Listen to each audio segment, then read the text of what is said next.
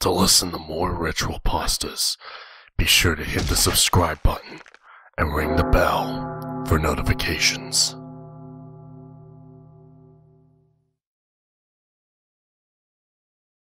Banks are a necessity nowadays. It's the only place that can bring you immense happiness and immense sorrow. It's the only place which can make both you jump with joy and cry in sadness.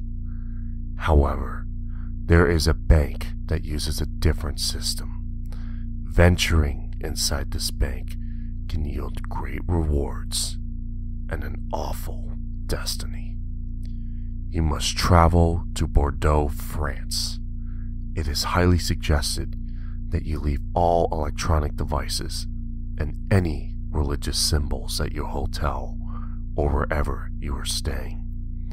Any electronic device brought within 200 meters of the core of this building, the main counter, should be considered irreversibly broken.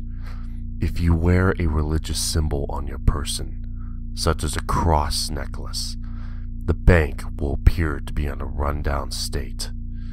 The creatures in charge of the operation do not take kindly to religion, and they do not want any inside their temple.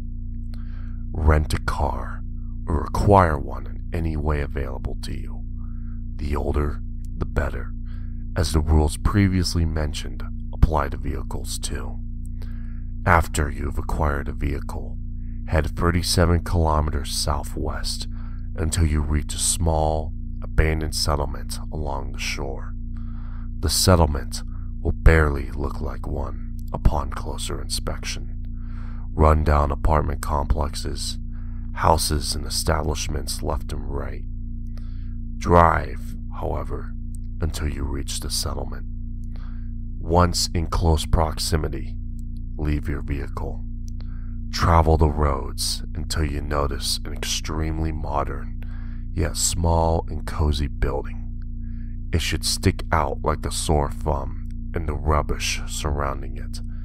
Please note that it might take multiple rounds around this particular road until you come across the building.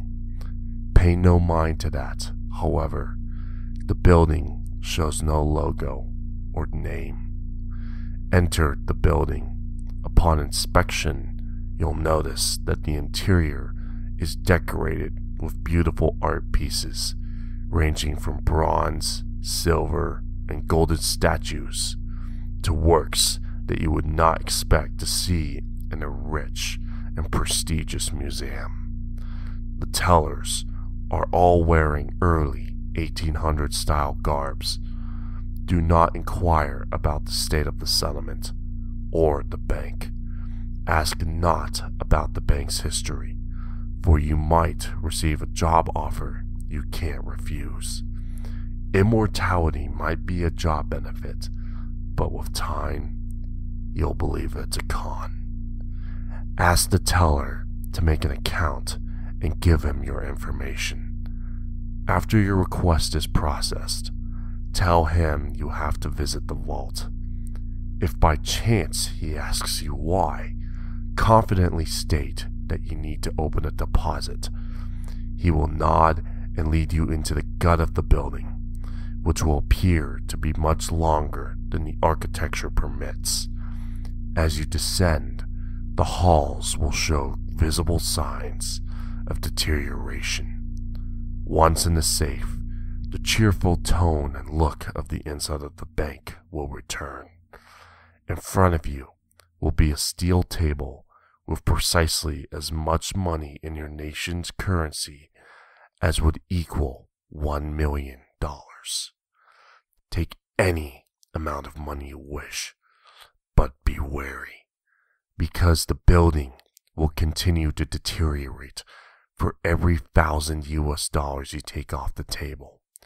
The hitch is, you won't find out when the exit is destroyed.